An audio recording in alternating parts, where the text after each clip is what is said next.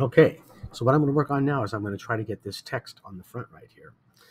I've tried to read what it says. I can't read what it says. I can't really tell what it says there specifically. So I'm just going to say that it says Candy 3. So that's what's going to work for me. Candy 3. I'll be happy with Candy 3.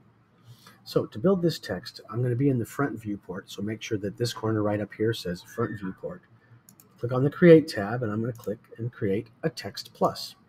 Now bring the text plus out and um, at the moment, it's kind of small, but I'm going to put in there for the text part candy and then the number three. And um, then I'm going to take the size of this font down. And I'm going to take it down and down and down and make it pretty small. Um, so for right now, 2.25 centimeters is probably going to work. I may adjust it a little larger. We'll see here in a few minutes, okay? Um, because I've made it much smaller, I can also make its bounding box, its region, a lot smaller. So I'm adjusting that region so the region is um, contains it nicely. I'm going to switch to the Move tool and press the Z key to zoom on this. And select back on the object and go to the Modify tab. And I'm going to call this, give it the name Candy 3. And then um, in its parameters, I'm going to select the text. Now, be careful how you do this because uh, you, if you if you destroy it, if you break it, and you can't get out, just throw it away and start all over again until you can get it right. Okay. Um, with that text selected, I'm going to go ahead and change the font, and the font I'm going to pick is called Bird Love, and um, Bird Love looks good. I like that font.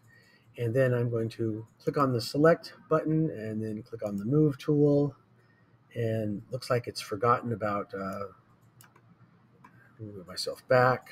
In fact, maybe I'll move myself to a top view and zoom on this a little bit. So I know it's going to be moving over somewhere in this area right here. And now I can change to a perspective view and bring myself down and turn my skins back on. And yeah, it's too high on the TV. And move it down and move it back. And now it's Looks like it's gone into the TV. Zoom on it there. It's right in front. Now, right now it doesn't have any thickness, so that's the problem. It doesn't have any thickness, but there's my Candy 3. Um, one of the parameters I can set here is its extrusion. I'm going to give it an extrusion of 0.5 centimeters, and that's a pretty serious extrusion. Uh, let's see, looking from the front here, man, it's it's just about the right size too. Let's see here. I think I want that to be zero. I want the X value to be zero. The X value zero is going to center it right on the front. And then if I pull it back, there we go. I've sunk it into the grill. And now I've got Candy 3 right there. And I'm also going to apply bevel. So I'm going to check the button to apply bevel. And I definitely do not want to do 0.5. Um, I, I think what I want to do is 0.1. 0.1 works great. So for the 0.1 bevel, that works good. Then I'm going to turn on the rotate tool.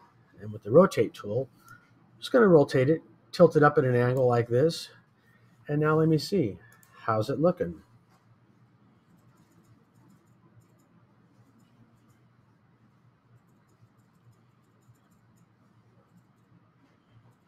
Candy 3. Not bad. Let me zoom in a little bit here so I can get a close up and take a look and see how things are looking. I think I'm going to be happy with that. That's about all there is to throwing in some text right there on the front of your object and getting it positioned. Alrighty, looking good. Thanks.